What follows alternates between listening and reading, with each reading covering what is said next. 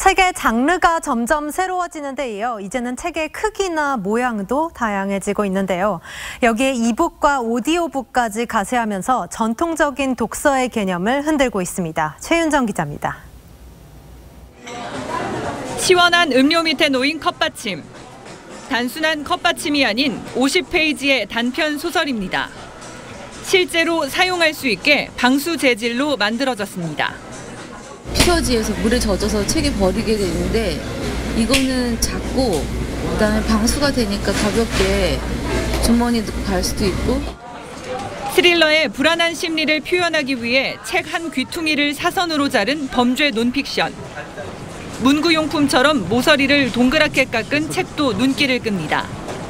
다이어리 같이 장마다 한쪽 면을 메모 공간으로 만든 시집처럼 사용법도 진화하고 있습니다.